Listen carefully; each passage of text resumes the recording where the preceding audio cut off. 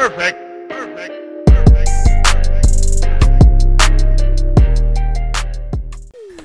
Hey loves, welcome back to my channel. Today I'm going to be using these Kiss Masterpiece press-on nails to show you guys how I keep my press-ons lasting. And first things first, what I'm going to go ahead and do is just cut down some of my natural nails. You can use nail clippers like this, or if they're not that long, you can use um, just like a regular nail file. This is just going to help the nails look nice and clean. You don't want any type of your natural nail underneath looking all scraggly. Trust me on that. um, but next things, wait, next things next. What? uh, next thing we're gonna do is take this buffer. And I left this part in real time just to show you guys you don't need to go crazy. You're just you know, want to buff up the natural nails just so that when we apply the glue, it has something to kind of cling on to rather than it being smooth. Because if you don't do this part, trust me, they're going to pop off within the same day.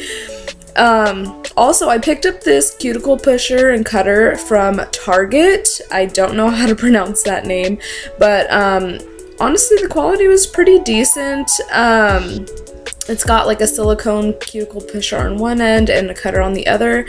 So next thing I'm gonna do is start to push my cuticles back. This is gonna help um, the nail slide on perfect and really give it that salon finish.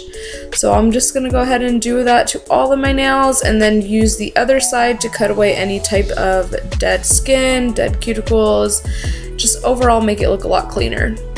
Now you can use 100%, oh, you can use 100% acetone or rubbing alcohol. First thing I'm gonna do is take rubbing alcohol and um, make sure any type of oil is off my nails. Also, before I started filming, I did make sure to wash my hands, so you just want to make sure your hands are completely clean and stripped of any type of natural oils on the nail beds because it's just not going to last if you don't do that. But look how cute this damn set is. Tell me why this is this would totally be a $70 set, you know what I mean? But anyway, don't use the nail glue that it comes with. I use a separate nail glue. Um, it's still by Kiss, but if you, it's not much of a difference to be honest. You could totally use what's in there. And also if you don't want to go out and get a cuticle pusher or anything else like that, then there's a wooden one that comes in the pack as well. And I believe this comes with 30 nails. I'm not exactly sure, but just look at that. I'm telling y'all, if you went to the salon and asked for this set, it literally would have been like 75 or more depending. Um, but next thing I'm doing is taking the acetone and applying that to my nails just one last time. And this is the part where it starts to get fun. We're gonna go ahead and apply some nail glue. I use one little dot, but then I kind of smear it around. I don't keep squeezing it, so don't use too much glue. But I press it down and then I slide it back. And that is gonna help so that um, when you're pushing it, no nail glue comes around your cuticle. It kind of just smooths it out and makes a tighter seal. I mean, I don't know how to describe it, but um, that's the method I do. That I, that is exactly what I found to help you know make them last to help the application go on less messy everything. It just mm, changed my life when I started doing it that way instead of just literally trying to press them on. Um, but yeah, that's what I go ahead and do to every single finger. Um, I will have a close-up view so you guys can see this a little bit easier, but see right there, I take just a tiny little amount. You don't want too much or else it's going to seep out of the sides. And then if you want, go ahead and just bring that glue to the tip of the nail, not the back. And then I go ahead and just slide it on back and then press and hold for like 30 seconds. Um, the longer you hold, obviously like the tighter the seal will be.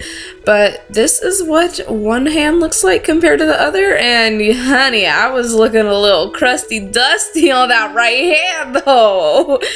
Um but yes like this is perfect for somebody that works in like healthcare or something. And like say you're going out for a date night and you can't really wear a lot of you know long nails all the time or just say you don't even like long nails in general, but you need it for an event, like this is totally perfect for that.